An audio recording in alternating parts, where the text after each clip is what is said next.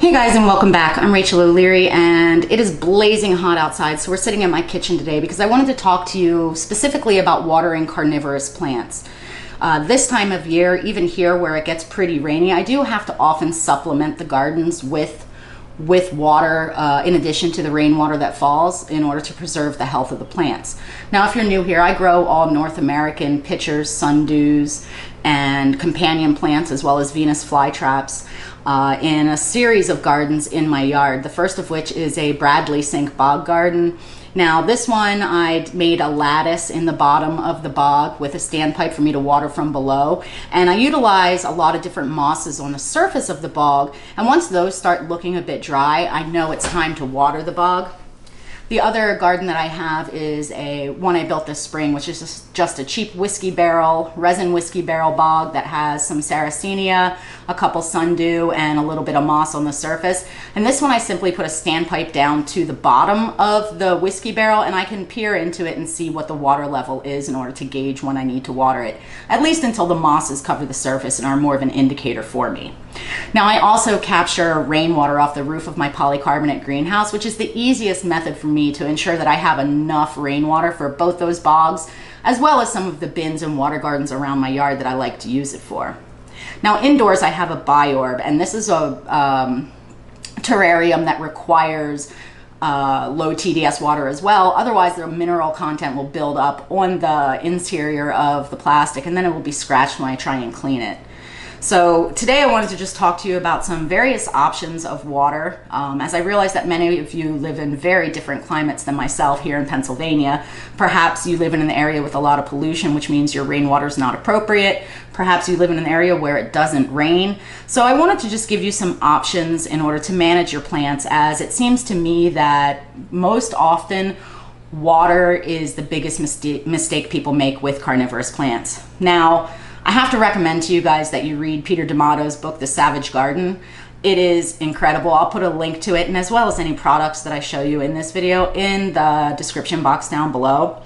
Um, it is basically the Bible of carnivorous plant keeping. And in his book, he says that for the vast majority of carnivorous plants, uh, water with a concentrate of 100 ppm or less of TDS is really what's ideal for carnivorous plants. So you can get away with using water up to 160 um, parts per million of TDS as long as you get profound rains that'll rinse out any accumulated minerals over time. That mineral content is what's really not good for our carnivorous plants and over time it will cause them to shrivel and eventually die if you're using the wrong water for them. Um, so today I have several samples. I have tap water, I have my rainwater, I have um, some bottled water, which we'll see together if it's good or not. Um, I think it's important to mention that not all bottled water is created equal.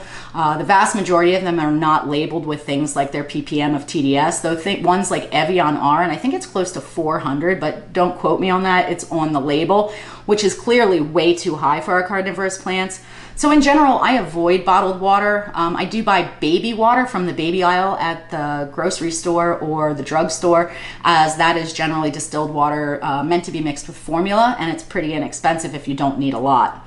Um, I also picked up this zero water water filter. I actually ordered it over three months ago and it finally came. Um, I guess because of COVID, there were a lot of delays. So my biorb's looking kind of rough right now because I haven't had the proper water. Anyway, I wanted to take my TDS pen and test all of these samples. Um, now I have a pretty good idea of my tap water just because of my all of my aquariums.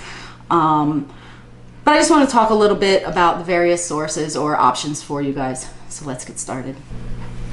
Here are the samples I've collected, and this is actually the TDS pen that came with my um, zero water water filter. Uh, you know, not all TDS meters are created equally, but you know, we basically just need a guideline. We want to make sure it's definitely under 160 and preferably 100 or lower. So all you do is you take this lid off, turn the on button, put it in the water, and the probe will read what it is. Now, if you see here, the rainwater has 4 ppm. That's super low. That's absolutely perfect for our uh, carnivorous plants. This is my tap water. Again, I have a well, and this will vary seasonally as well as with how much rain we've had. my tap water is at 95 ppm. So I'm actually one of the lucky ones that can use my tap water for all my plants that require soft or low mineral water. Now the bottled water is Acadia and it is at 20. So surprisingly, that one's okay too, but it's really not that surprising because that particular brand is bottled and captured here in Pennsylvania. And this is the zero water, which is at 17 ppm. So I'm actually pretty lucky in that I could use any of these things. Now I'll probably stick with the zero water for my Biorb just because um, I want the lowest ppm in there. And one issue with my captured rainwater is that over time from sitting outside, it gets a bit of algae in it. I don't really want to add that to a closed system.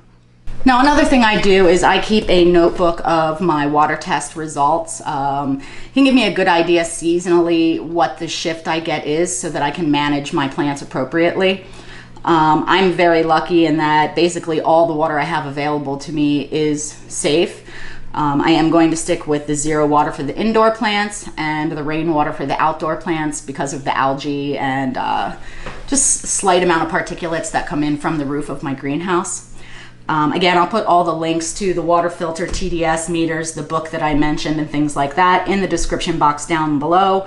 Um, I think that picking up a water filter like this is a really reasonable thing to do if you only have a few plants. It would certainly not be at all practical for my bog gardens outdoors. Uh, captured rainwater is really the best way to go there if you have it. Otherwise, you may consider purchasing an RODI unit or at the very least a TDS meter so that you can measure your source water accurately and make sure that you're not doing any damage to your plants. As always, I hope you guys are staying safe and staying healthy, and I'll see you in the next video.